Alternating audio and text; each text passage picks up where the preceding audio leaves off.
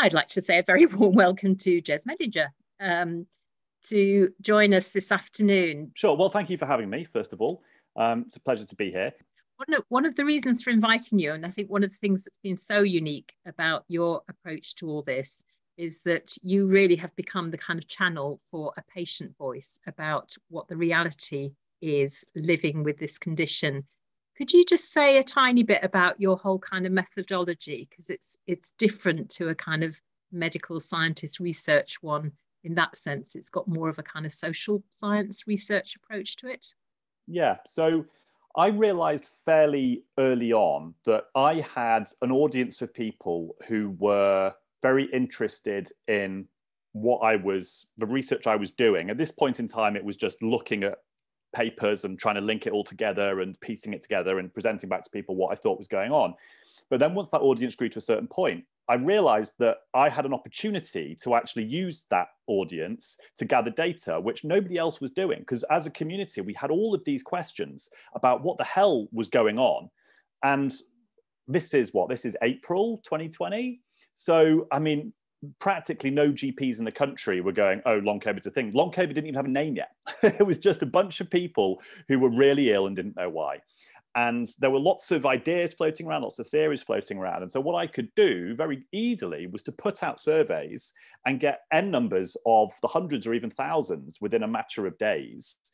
And actually, inside that data was huge amounts of insights um, which have subsequently been, you know, um, confirmed by published papers two years later. But I was sort of finding this stuff out two years ago. And there is obviously a limit to the sort of stuff you can find from a survey. Um, you know, it has to be things that people already know, for example. So one of the an interesting one I did was look into pre-existing conditions to look for what could be risk factors for long COVID.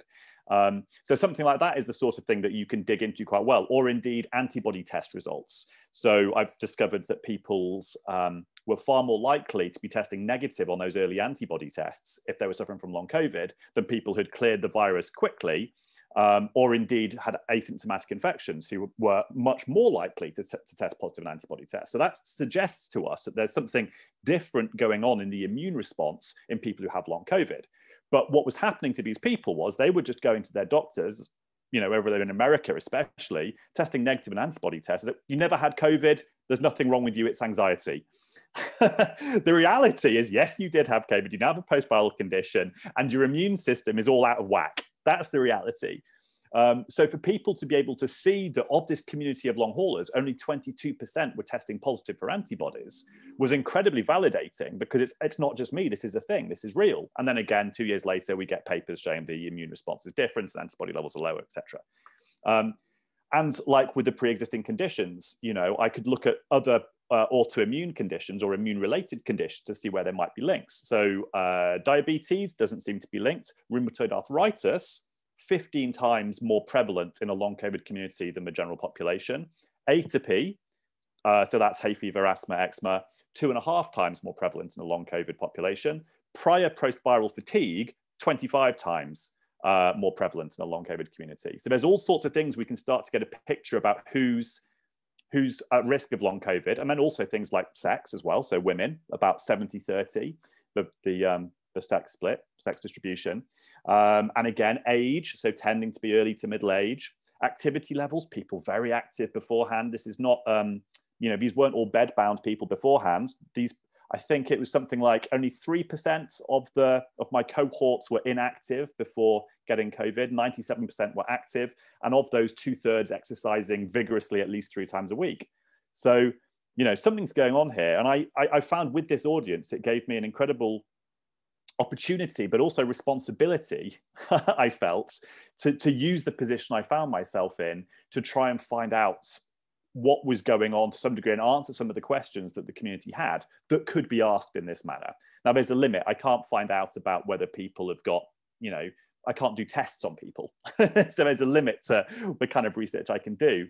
But at the same time, there was a lot of very powerful um, evidence that I could sort of dig out through this. And this is where actually my pr- prior degree might be in engineering, but it gave me a sense of academic rigor, which I could apply to this setting yeah and it's that it's that data it's the kind of numbers of responses that you've had to things that i think have been so validating and actually really kind of impacted the amount of discussion that there is because um, yes people weren't kind of the, the general sort of dismissiveness of some medics was um, was clearly not no longer valid mm. do I mean in terms of you know we're all we're all kind of very excited that covid produced the opportunity for there to be some investment in research which um, for those people living with not only long COVID, but for those people who've also got ME/CFS in particular, and possibly fibromyalgia, we're very excited to see whether any of this could generate any research which could give any clues or anything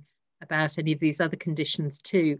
In terms of the current science and research around long COVID, what, what would you rate as being the most kind of promising avenues of inquiry?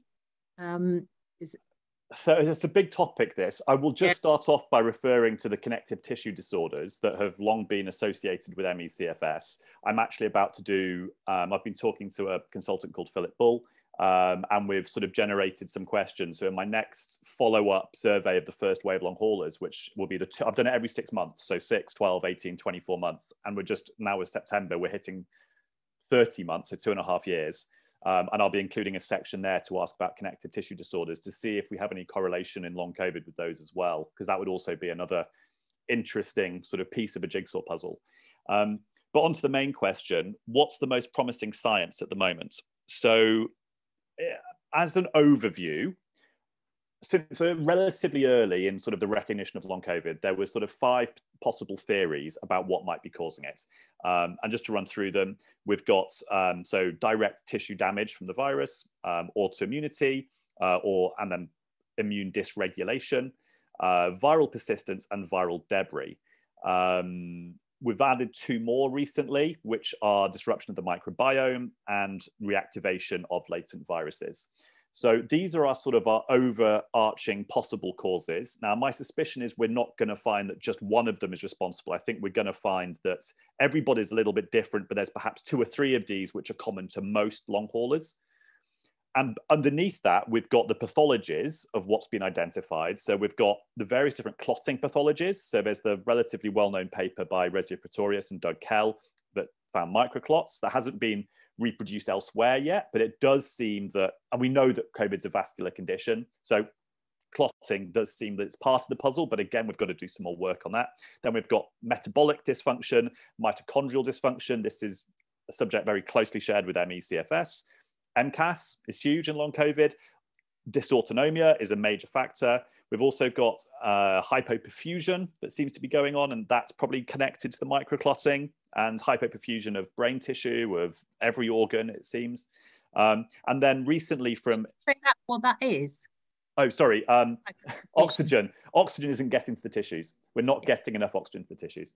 Um, and then Akiko Iwasaki um, and David Putrino recently had a, a, paper published which found that cortisol levels were the most direct, uh, what's what I'm looking for, marker, obvious marker that held up across the long COVID people versus the controls.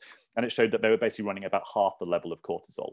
And this doesn't seem to, to the controls. So there's low cortisol levels for some reason. Is this exhausted adrenals? Is it something else? Um, certainly would explain why a bunch of us feel better on steroids and prednisolone.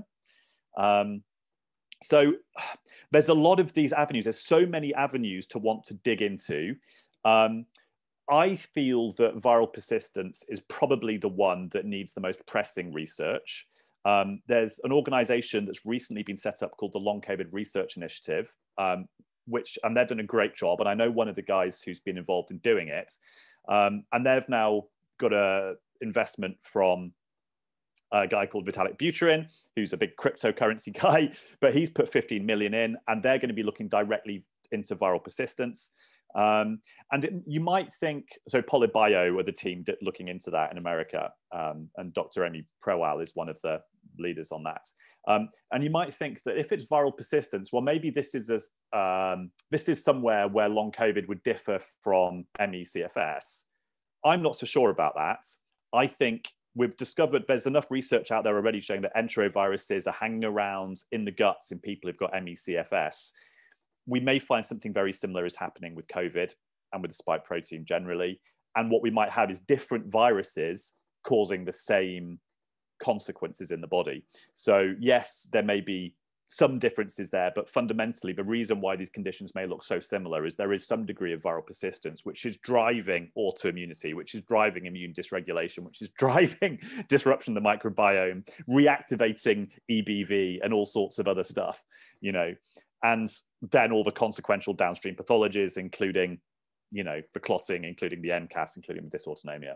So it's such a complex world. There's a reason why ME/CFS is so poorly understood by the majority of the clinical and medical and academic profession. And it's because it's bloody complicated.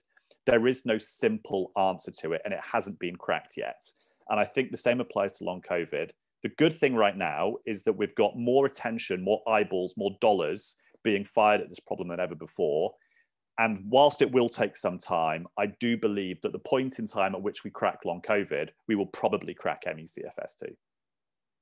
So, long answer to your question. I hope it broadly answered it. Yes, no, thank you.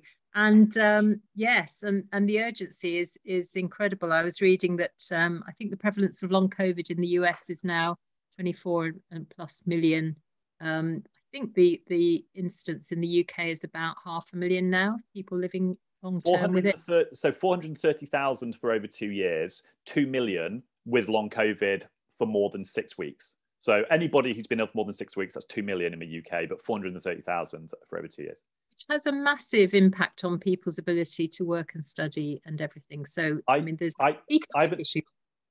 Monumentally, I mean, these are people in the prime of their working lives. You know, I haven't done a single day of my old profession in two and a half years because I can't. I can't go and do a 14 hour day. It will just destroy me. You know, I could maybe just about get through it, but couldn't do another day's work after it. That's for sure.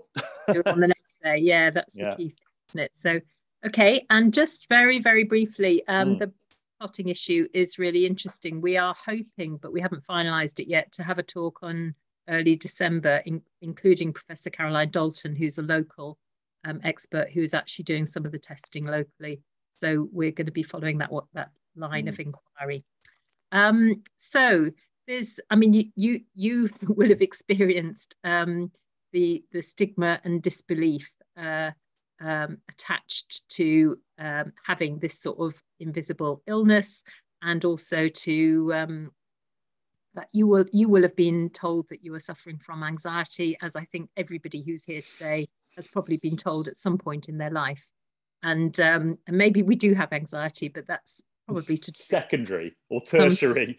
Yeah. long-term illnesses exactly. Do you have any or have you learned any tips along the way about handling disbelieving medics? Get a new one. Yeah.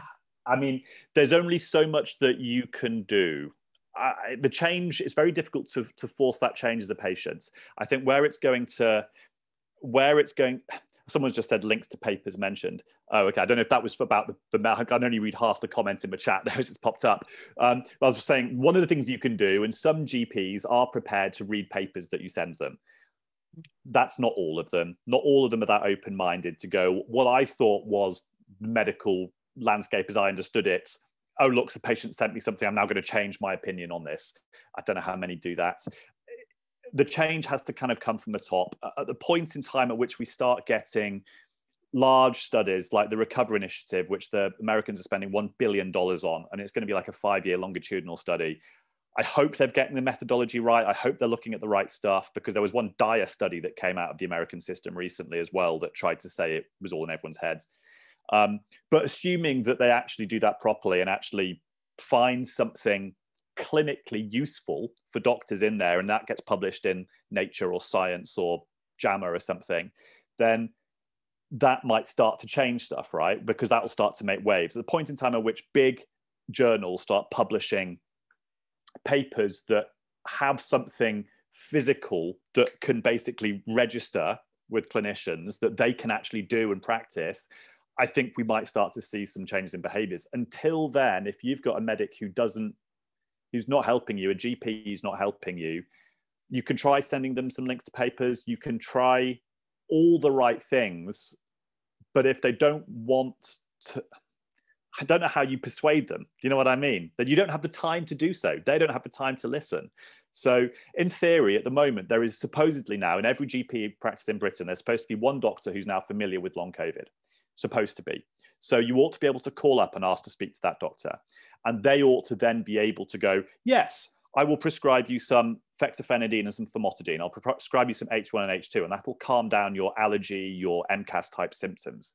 Uh, you've got POTS. Okay, I'm actually going to do a quick NASA lean test and I'll, then I'll maybe give you some conservative recommendations. But maybe if those don't work, I'll give you midodrine or ivabradine or some beta blockers. You know, there are things that doctors can do, but the doctors need to be switched on and they need to be able to be open-minded enough to go, okay, I can give you symptomatic relief. We may not have clinical indications for long COVID and what I can be prescribing for long COVID directly, but you've got headaches. So let me give you something that we know we can prescribe for headaches or whatever. Mm-hmm. So it's so it's it's so, so hard. I actually have a chapter in the book on how to approach and how to get your GP to help you, um, which I wrote with the help of two GPs who've got long COVID in the UK and one in America.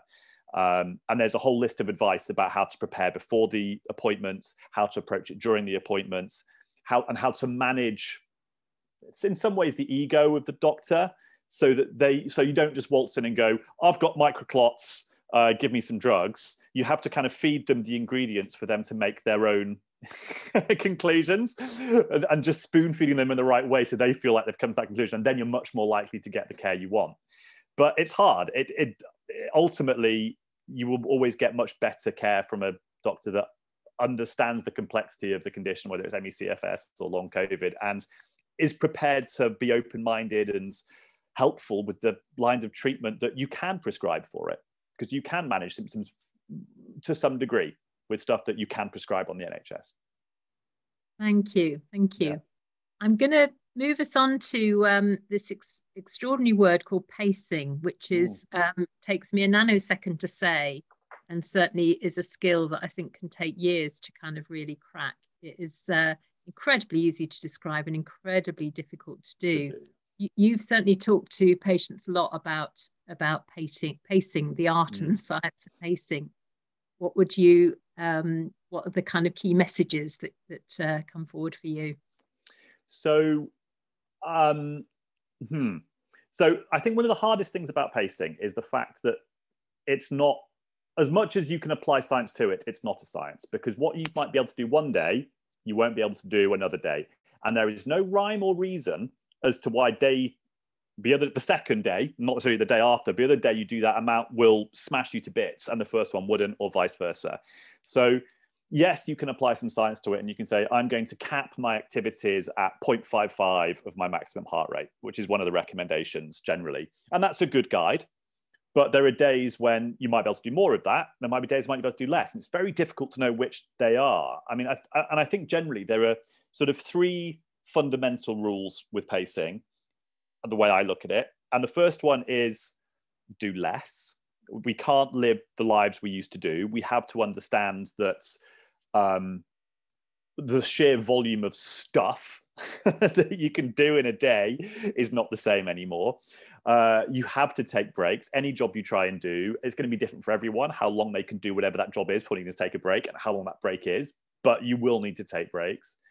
Um, you'll probably need to do whatever you're doing slower. So you can't basically wash the car at the same speed you used to, or you can't walk the kids to school at the same speed you used to, um, or you know you can't pack for a holiday at the same speed you used to. Whatever it is, um, and that you might also the other part of this after do slower is do differently. So maybe you might need to consider having a stool in the shower because a shower is quite autonomically stressful because A, you're standing up, B, you're raising your body temperature, C, you're moving around trying to do stuff, then you're bending over, then you're standing up again. Um, and you might not have considered that having a shower was a challenging thing for your body to manage before, but actually, yeah, kind of autonomically it is. So having a shower stool, yeah, there you go do you need to fry an egg or do some cooking or maybe your stool could maybe you need a stool in the kitchen that you can just perch whilst you do that you know when can you sit down whilst doing a thing as opposed to doing that thing standing up so how, how can you modify these activities how can you modify your travel how can you look at so for example learning what your own difficulties are makes a big difference so for example my sister uh, struggles hugely with visual processing. I struggle hugely with verbal processing. So I, I can manage an hour's driving better than I can manage an hour's Zoom call. For her, it's the other way around.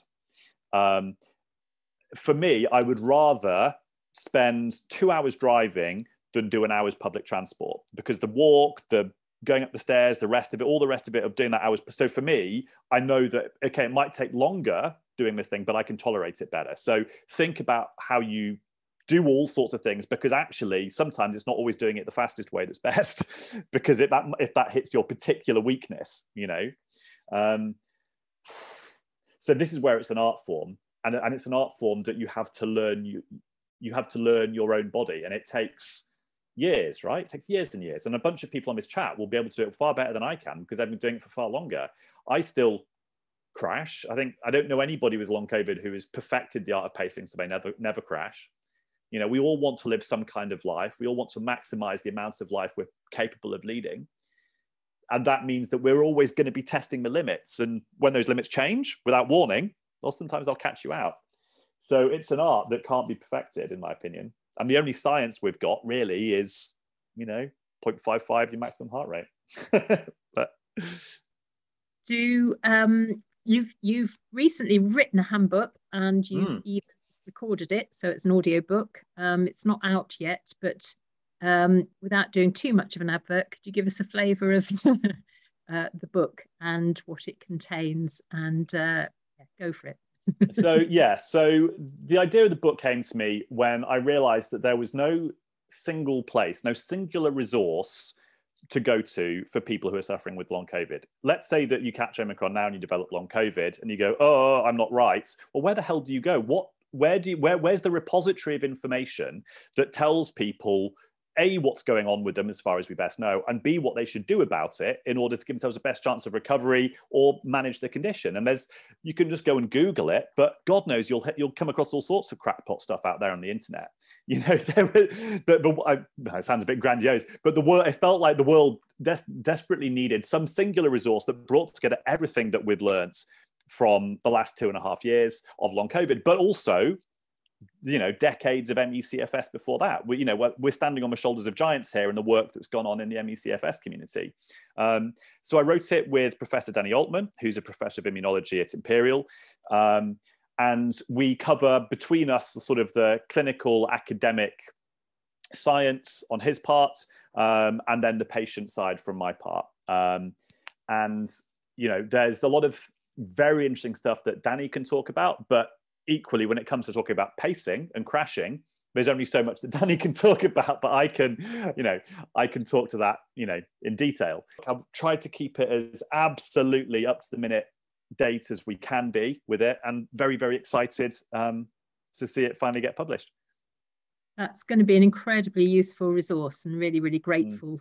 to you for capturing everything that you've covered in the journey so far and putting it in one succinct yeah. place and that will be really helpful also very helpful that it's an audio book that makes it yes. a huge amount easier yes. for everybody um, i've um, got a couple of things i particularly wanted to pick out um, which which have come up in the chat one is um, does the book or can you comment at all on anything around diet managing diet metabolism mm. any of hmm. those related so issues one generally speaking there wasn't a lot of conflict in writing the book between me and danny um, but one of the areas where there was conflict was on the subject of diet, because uh, low histamine diets are, there is evidence out there for them, but generally speaking, if you go and speak to a group of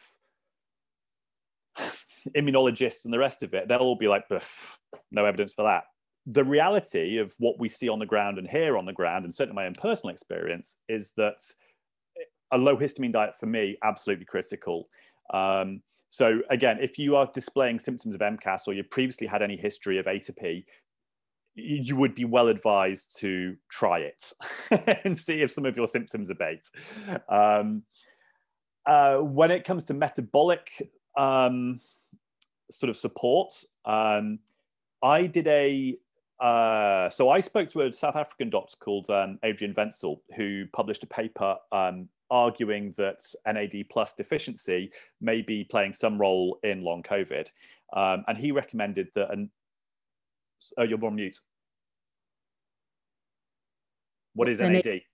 Uh, it's a it's a critical coenzyme uh, necessary for the production of ATP, which is our body's unit of energy. Um, so if you if you're short of NAD plus, then your body is short of energy, full stop. Not just to go running about, but to power your organs, basic biological processes.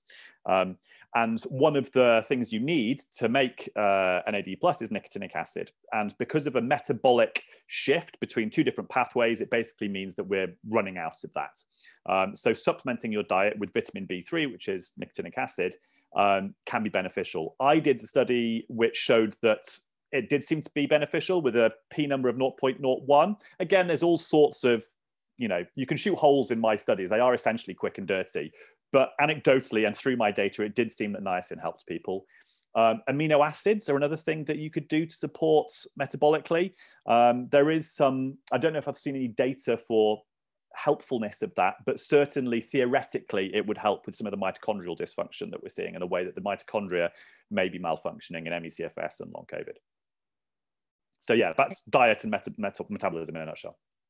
And I would encourage people here to look on our sheffieldmegroup.co.uk website. We've we did a talk with Professor Carding from Norwich, which was about the gut biome. Um, that was incredibly informative and also kind of explored this whole thing about um, uh, fecal transplants mm. um, as well and their relevance to to looking at ways of, of treating ME/CFS. Um, uh, so w- on that on that front, very quickly, there has only been one RCT published for long COVID, and it's on probiotics. Um, there's a probiotic I've got it behind my desk here called Phyto V. There we go, Phyto V and Your Gut Plus, um, and that RCT demonstrated that it was helpful for people with long COVID, uh, and I would imagine by association probably ME/CFS too. So so yeah, look that up if that's of interest. Right, we had a, a, number of questions sent to us in advance, um, mm. which I've shared with Gez, and uh, he's promised to do the uh, the high speed version of answers to them. So if you put your seatbelts on, he will yeah. run through those. Yeah, um, they will be quite quick. If you watch YouTube later, you can do it at slower speed. But, yeah, here um, we go. So go question. Speed. Question number one How likely is it that living with long COVID will impact future health negatively? Well, right now we don't have any data on this. Um, the only thing we can do is look at people who have had ME/CFS for a long time or people who had SARS-1. Um, SARS-1 people are not necessarily well now, but it was a different virus. It was much more severe. A lot of them had organ damage, um, and they're still suffering the effects of that organ damage sort of 18 years later. ME/CFS, yeah, you can maybe add about this long term things that, but basically we don't know, unfortunately, at the moment. Um, is any question number two? Is any effective treatment available on the NHS for people with long COVID? I mentioned this briefly earlier. H1, H2 antihistamines from a sympathetic GP. Um, also, that you can get medications for um, for POTS, um, and which may also help with generic dysautonomia as well. Um, so yes, you can. Um, if, if, you're particularly POTSy, it's definitely worth seeing your GP. Um, if you're particularly MCASy, it's particularly worth seeing your GP and trying to get some antihistamines. But you may have to try more than one GP before you'll find one who goes, yes, this is fine. Um, do I, question number three, do you find the current advice for patients to pace activities helpful for long COVID? Um, I would say it is the single most important thing that anybody with long COVID can do. So yes. Um, Question number four Are people with post COVID illness being assessed for ME/CFS within a few weeks rather than long COVID? Um, no, it seems to me that doctors are tending to say this is long COVID rather than ME/CFS at the moment. What we're seeing with some people who've had long COVID for more than a year is some of them are going and some of them want to get a diagnosis of ME/CFS because it might help them with their work situation or other issues. Um, I think certainly a lot of people with long COVID would qualify uh, for a diagnosis of ME/CFS. Um, but right now, doctors are tending to call it long COVID if you're if you've got post-COVID illness, i.e., i.e., it's in the first few months. Uh, question number five: What proportion of those who catch COVID go on to qualify for a diagnosis of ME/CFS? Oh, same thing. Most. Anybody with post-exertional malaise, which is the vast majority. Uh, next question: Interested in the most effective use of antihistamines in relation to MCAS and in particular nighttime heart palpitations. So I made a film with Dr. Boon Lim, who's a cardiologist recently, and he spoke about this and how he thinks that these nighttime uh, heart palpitations, but wake you up with your heart racing, may well be due to mast cell degranulation during the night. So taking an evening antihistamine before you go to bed may well help. Now, you may need to try a few different antihistamines because everybody reacts a little bit differently to each. So keep trying different ones until you find one that helps, is the general rule for that. Um, what's next question? What can employers do to help employees who are suffering from long COVID? Well, the answer is a huge amount, but the first thing would I I would say would be to understand that they are going to have to pace their working environment. They're going to have to probably need to work from home. They're going to need to have limited work hours during the day. They're going to need to have limited time on Zoom calls, for example, um, and lots of understanding about how much can be expected of them and that it's not always going to be the same. And there's going to be some days where they just need to take complete time out and that's going to have to be okay rather than you can't. So huge amount of flexibility and understanding fundamentally. Not all employers will have that. Someone says i'm interested to know how he felt uh, when he felt able to do more activities such as getting back to winter sports. So i made a film in the in february which is a little bit controversial because i went out to the alps and went skiing and this all sounds incredibly dramatic and incredibly hardcore and wow i must be better. No. Travel was difficult um, but i got out there and i made it my focus to basically dedicate all the time that i wasn't trying to ski uh, to rest breath work meditation uh, no work, no stress, no phone calls, none of that. And I was doing eight to 10 hours throughout the whole of the rest of the day of just all of that stuff to calm the autonomic system down and just to rest. When I was on the mountain, I was just simply standing up, sliding for 20 seconds, stopping for a minute or two, breathing, calming the heart rate down, doing it again. 20 seconds, stop. Every single lift, I wouldn't take part in conversation. I'd just sit there and do my breathing exercises. And I'd only be on the mountain for an hour and then I came off. Like that, it was doable. Doing it any other way, not doable. How did I know I was ready for that? Hmm. I just took a punt. I took a punt. I had a sense and I took a punt. Um, what blood tests can I ask my GP for that might show blood clotting abnormalities? None, unfortunately, in this country. You would need to do some fluorescence microscopy, and that's only going to happen in Mulheim in Germany at the moment although I think some places in South Africa might be setting it up, and it's supposed to be a few places possibly setting it up here. But right now, if you go into your doctor and say, I think I've got blood clotting anomalies, they're going to say, okay, we'll do all the normal tests. Oh, they're normal. Um, you could ask for a test for uh, antiphospholipid antibodies um, because they can cause clotting pathology, but they are obviously not present in everyone. Uh, although it does seem that they are more common in long COVID than the population generally yes, please tell us more about your MCAS theory. Totally makes sense. Every long COVID symptom can be tied back to mast cell dysfunction. Uh, such a huge topic. Watch my film with Lawrence Afrin on YouTube. We spend an hour talking about that in detail. Um, why are we seeing so many people who were uber active being disproportionately affected by long COVID? Is it mitochondrial malfunction? Uh, no, my theory on this is that I think it's autonomic stress. So I think people who were disproportionately active before were carrying a huge amount of physiological stress in their systems. So basically, they've been raz. I certainly had. I've been razzing myself into the red for ages, and you get away with razzing yourself into the red for ages most of the time until a virus comes along, and hey presto, you get knocked over the edge, out of the red, and into the splat territory. And my theory is that it's it's autonomic as opposed to mitochondrial. Yes, there may well be mitochondrial dysfunction afterwards, but the primary thing that connects the prior activity with the risk of getting long COVID, I think, is autonomic. Uh, and I think people who razz themselves to the max for too long over too many years uh, are the ones who are more likely to find themselves um, in a dysautonomic state um, as a result of a COVID infection. Uh, another question What kept him going? No choice. you just do. I had some really rough weeks writing the book, really rough, where the stress of having to hit a deadline made my long COVID worse, my cognitive dysfunction worse, which meant it was even harder to write, which meant that I couldn't do it and I got even more stressed and vicious loops from hell. I, I just, I don't know. I I really, really struggled. It wasn't easy, but no choice, I guess. And, and I'm just trying to avoid crashing by just trying to be as disciplined as possible about pacing. Are people finding that relapses, crashes are a common occurrence even years after infection affecting cognitive abilities again? Well, relapses and crashes are common. Uh, they are almost the defining attribute, I would say, of long COVID and to some degree ME/CFS, um, even years after. Um, there was a study recently that looked at people's recovery and found that 33% of them who felt they'd recovered subsequently had a relapse of symptoms at some point. So, happens all the time. Uh, have I looked into hyperbaric oxygen treatment at all? My views on rivaroxaban for hypercoagulability. Uh, yes, HBOT is really good, makes you feel really good, but most people tend to slip back to where they were before once they stop doing it. If you can afford to keep doing it all the time, great. but not many of us can.